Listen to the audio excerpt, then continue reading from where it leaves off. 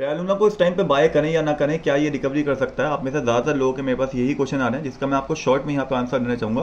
पहली चीज़ ये कि इसको बाय करना या नहीं करना। तो देखो, इस टाइम पे ये जो प्रोजेक्ट है, ये पूरा high risk high reward ratio यहाँ पे हो चुका है। यानी कि आप अगर अब इसको बाय करते हो, लगभग two point three one dollar का पेज चल रहा है तो जब ये रिटर्न आपको देगा तो फाइव एक्स टेन एक्स का रिटर्न भी आपको दे सकता है और आपके पाँच दस डॉलर को ये सौ डॉलर में भी कन्वर्ट कर सकता है। लेकिन अगर आपको ये यहाँ पे लॉस देता है तो ये ज़ीरो भी यहाँ पे हो सकता है। तो ये एक जेम कॉइन के टाइम आप समझ सकते हो, जहाँ पे आप अपने लक के ऊपर इन्वेस्ट करते हो एंड वहाँ पे अगर ये रिकवरी करता है तो डेफिनेटली आपको बड़ा रिटर्न देगा। अब यहाँ पे बात करें होल्डर्स की, कि होल्डर्स यहाँ पे क्या कर सकते हैं, कब तक ये रिकवरी कर सकता है? तो देखो यहाँ पे रिकवरी के चांसेस हैं, ठीक है? अगर हम देखें टेलूना की फाउंडेशन की तरफ़ से भी न्यूज़ आई है कि वो सारी चीज़ों को रिबिल्ड करने का यहाँ पे देख रहे हैं। एंड मैं आपको लगातार टेलीग्राम के ऊपर एक एक अपडेट दे रहा हूँ। अभी मैंने आपको बताया था कि फोर पे अगर सपोर्ट लेता है तो ठीक है, वरना आप वहाँ से शॉर्ट लेना, वो लेवल टूटे। और वहाँ पे वो लेवल टूटा, अगर आपने शॉर्ट लिया होगा तो ऑलरेडी आप यहाँ पे प्रॉफिट में होगे और प्रॉफिट भी आप बुक कर सकते हो। तो टेलीग्राम को ज्वाइन ज़रूर कर लो लिंक मैंने डिस्क्रिप्शन में रखा है। अब मैं आपसे क्या बोल रहा था? हाई रिक्स हाई रिवॉर्ड तो ये है, और रिकवरी करने में इसको जो टाइम लगेगा,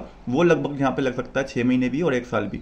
जब भी ये रीबिल्ड कर लेंगे सारी चीज़ों को अपने, अब रीबिल्ड करने में बहुत टाइम लगता है। जो लोग ऑलरेडी यहाँ पे लॉस खा चुके हैं, वो तो इन्वेस्ट करेंगे नहीं। जब नया बुल मार्केट स्टार्ट होगा, जब नए लोग आएँगे मार्केट के अंदर और देखेंगे टेलूना जो इतना हाई पे था, वो इतना नीचे आ रखा है, जब साइड से पंप हो जाएँगी तब जाके ट्रायल लूना के अंदर हमें बड़ी रिकवरी और पूरी रिकवरी देखने को मिलेगी। अब उसमें कितना टाइम लगेगा? डेफिनेटली किसी को नहीं पता, एक साल भी लग सकता है और दो साल भी। जब भी बिटकॉइन अपना टॉप लाएगा तब हम एक्सपेक्ट करके चलेंगे।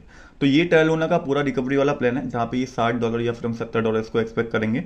अदरवाइज़ अभी कोई एक्सपेक्टेशन नहीं है एकदम से इसके अंदर रिकवरी आने के, क्योंकि जिस हिसाब से यहाँ पे ये यूएसटी टूटा है, इसका जो स्टेबल कॉइन था, उस हिसाब से यहाँ पे टेलोना के अंदर दूर दूर तक कोई रिकवरी देखने को नहीं मिलने ली है और एक फ्री फॉल इसके अंदर हमें देखने को मिल रहा है। हाँ हम न्यूज़ का भी यहाँ पे वेट करेंगे कि टेलूना फाउंडेशन यहाँ पे क्या न्यूज़ लेके आती है और रिकवरी के लिए क्या प्लान लेके आती है, क्योंकि जब इनका जब स्टेबल कॉइन यहाँ पे रिकवर होगा यूएसटी जो इनका एल्गोरिदम यहाँ पे गलत साबित हुआ है वो यहाँ पे सही होगा, तभी हमें यहाँ पे जो टेलूना है, वो भी रिकवर करता हुआ दिखेगा।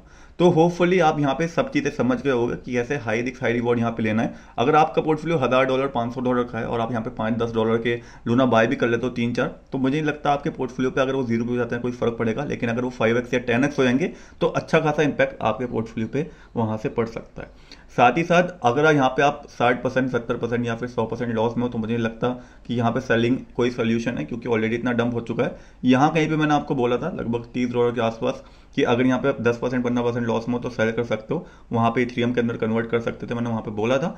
उसके अलावा कोई चांस यहाँ पे नहीं मिला सेलिंग का, उसके बाद लगातार ये फ्री फॉल कर रहा है। एंड अगर आपकी buying sixty dollar seventy dollar पे है टेरलूना के अंदर तो मुझे नहीं लगता कि इस न्यूज़ आने के बाद आपके पास कोई ऑप्शन बचा है होल्ड करने के अलावा ये मेरा पर्सनल ओपिनियन है, बाकी आपका ओपिनियन जो है, आप कमेंट्स के अंदर भी शेयर कर सकते हैं। Thank you